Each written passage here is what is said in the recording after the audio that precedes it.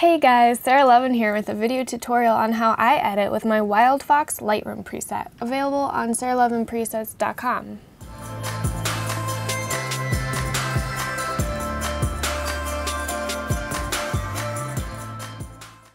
So to start with, we'll go ahead and throw the preset on my first photo.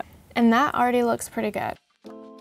Typically, I bring my highlights down so I can recover the sky when I work on a photo, I usually start at the top here and I'll work all the way down through the settings and then I'll fine tune by working my way back up through the settings and just tweak the photo until I really feel like it is perfect. So getting started here. Looks pretty good. If you want it to be more of a pink photo, you can take your oranges and you can turn it like more red, but we don't want the skin to be too red, so Turn the saturation down just a bit, the luminance up a little bit. I find that the yellows can be where a lot of your highlights are, so I like to turn the saturation down on that and turn the luminance up, but not too much.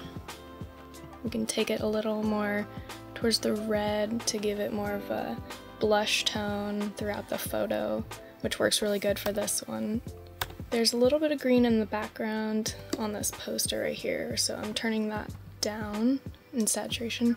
The luminance I'll probably turn down and take my hue a little bit more towards the yellow so it matches the photo overall. For the sharpening, you might want to zoom in on your photo or you can take this little thing and click right there get your sharpening just how you want it. You don't want to over sharpen, especially if you have JPEG photo.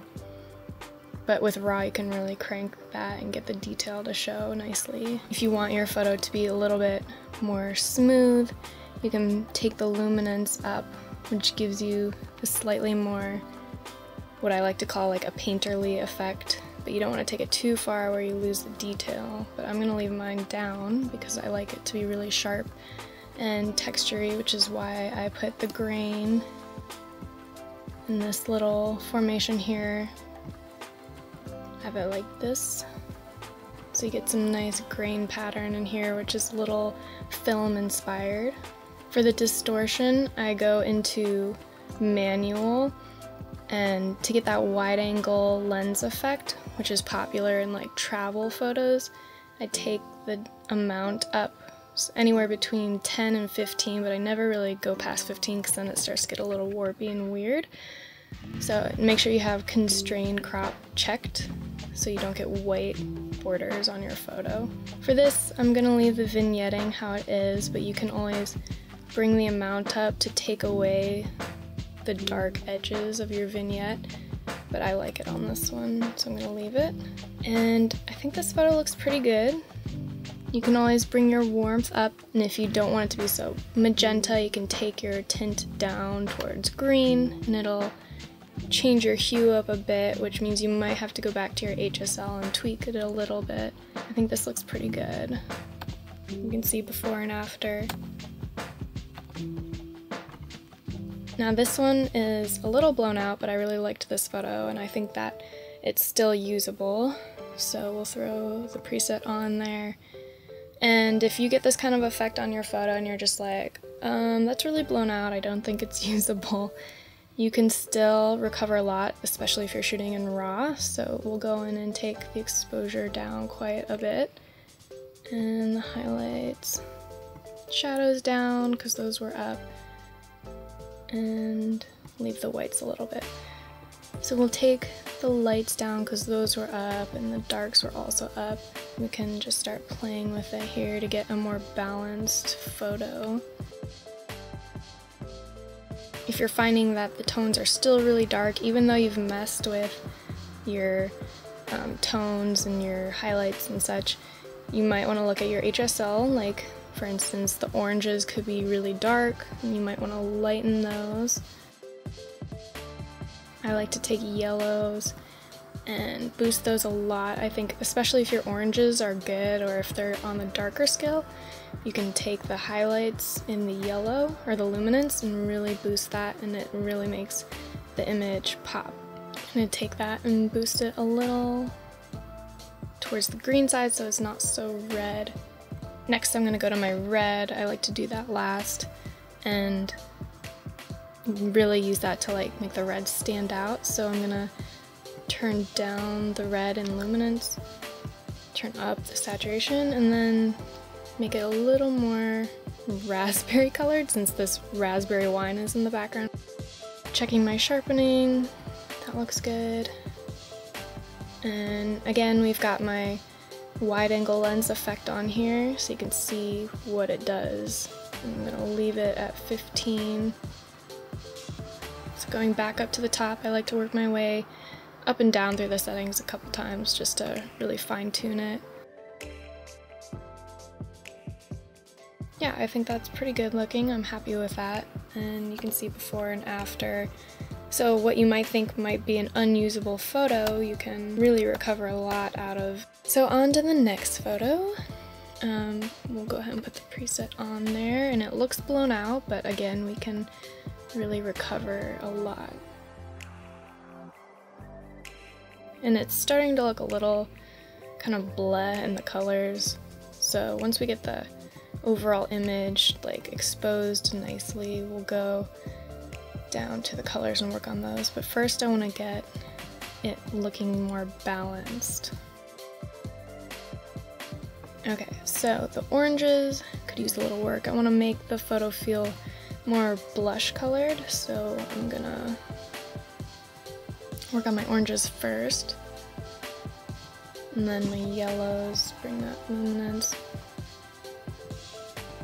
And you can see the yellow is in the trees mostly, so kind of like it popping like that. So I'm gonna tweak these colors until it looks just right.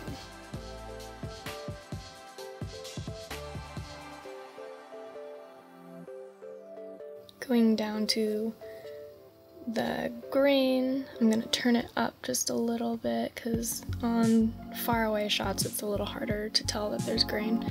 And we can tweak in the camera calibration, sometimes these colors down here really help give a nice boost in that direction that you want to go. So I want to get it to look really rosy.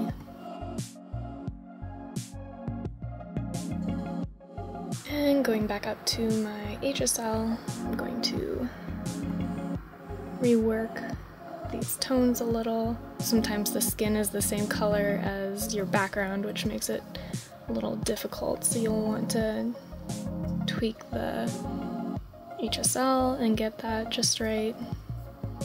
And overall, I think this is looking pretty good. And if you're ever just struggling to get some of those tones, you can always grab this little tone curve dropper and just grab that tone you want to change, and that automatically changes it for you just by sliding your mouse up and down. I want this leg to be a little brighter, so I'm gonna drag that up just a little bit. And this one up a little bit too. That's looking a little better. And then I'm gonna turn the clarity up to give it that extra boost. I think that looks really good. You can see before and after how the wide angle just really gives it that pop. And you'll have to be careful because if the wide angle lens effect is too wide, you'll get your columns in the background kind of bowing a little bit, but I'm not worried about that because I'll be cropping for Instagram about here, so you won't really be able to tell. I think we're done with this image, and it looks good.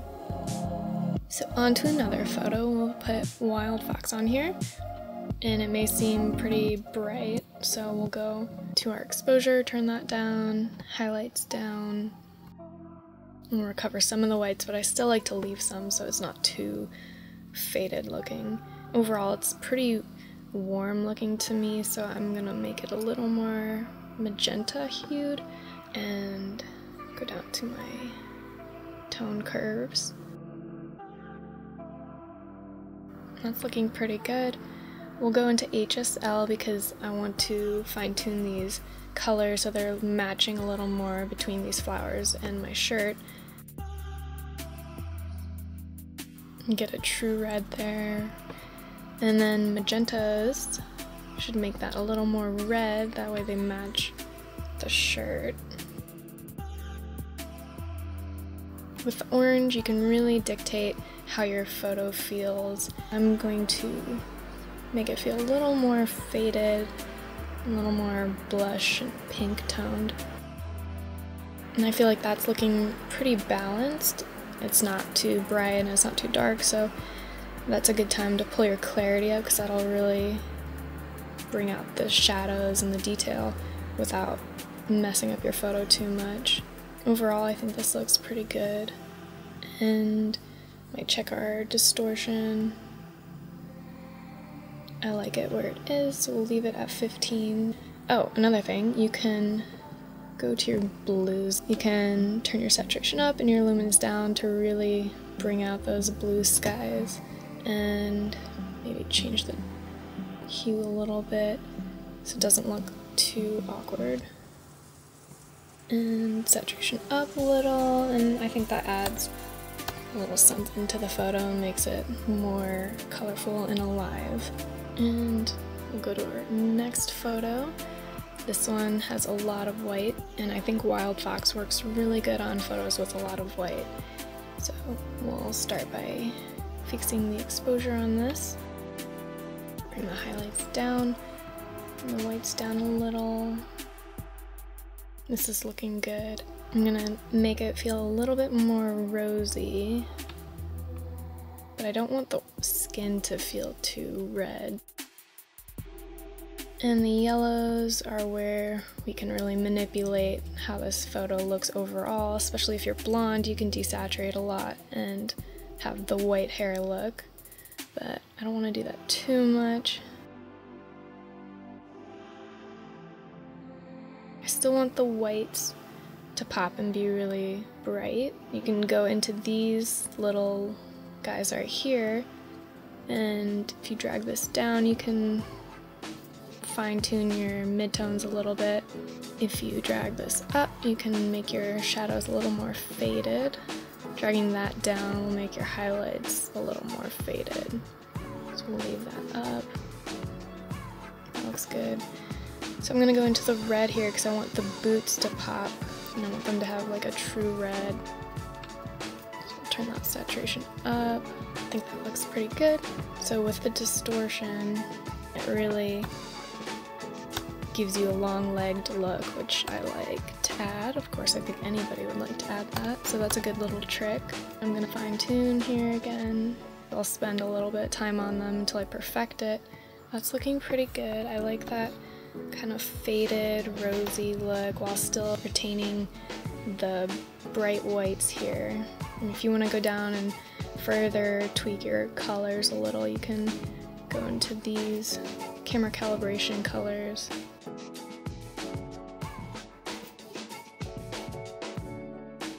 And that looks good to me. I like that. So you can see before and after. Last photo for Wildfox. Throw that on there. And here's a photo, for example, where I shot in stark light with shadow. And I'm in a hot spot right here, so this will be showing you how to recover this nicely.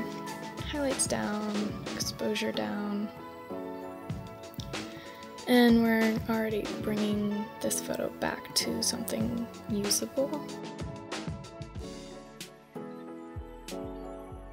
Recover some of those darks so the photo isn't too blown out. I kind of like the shadows down like that because it adds some nice contrast. I'm going to go into my HSL and work with the tones here.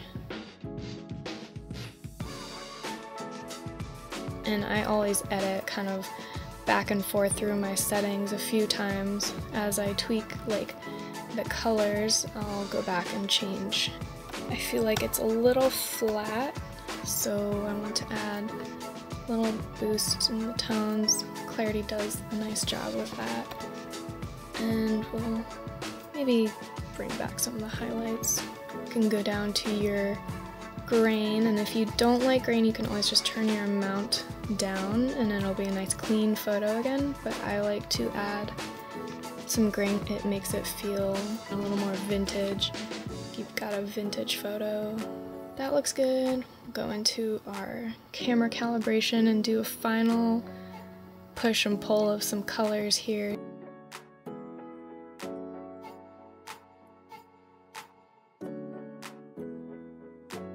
And I think I'm gonna call that one done.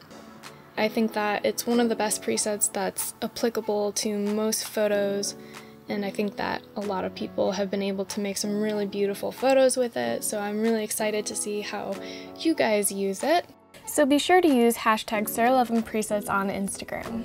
This video should help you better understand how I edit my photos for Instagram and how to work with the Wildfox preset in Lightroom. If you have any questions or requests for other videos I should make, leave your comments below. Thanks for watching and be sure to like and subscribe if you enjoyed this video and want to see more.